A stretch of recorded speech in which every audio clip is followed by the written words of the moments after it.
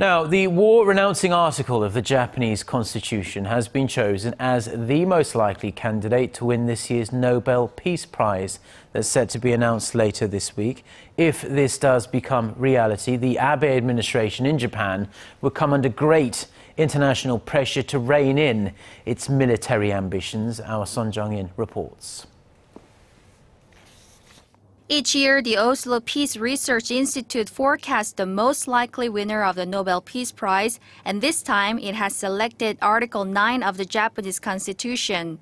The institute noted the article's renunciation of war and the use of force assume much greater importance amid military tensions in Ukraine and other parts of the world. The article renounces the right to engage in war and rejects the use of force as a means of settling international disputes.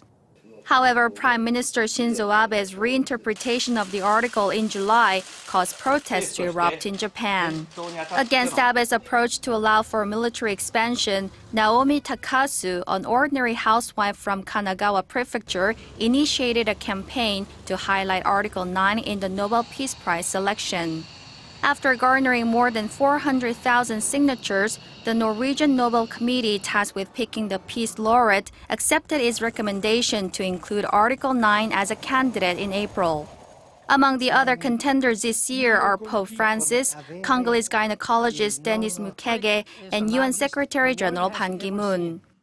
If Japanese peace activists clinch the prize, it would likely put intense pressure on the Abe government to step back from its military ambitions. The Nobel Peace Prize winner will be announced on Friday. Sohn Jung-in, Arirang News.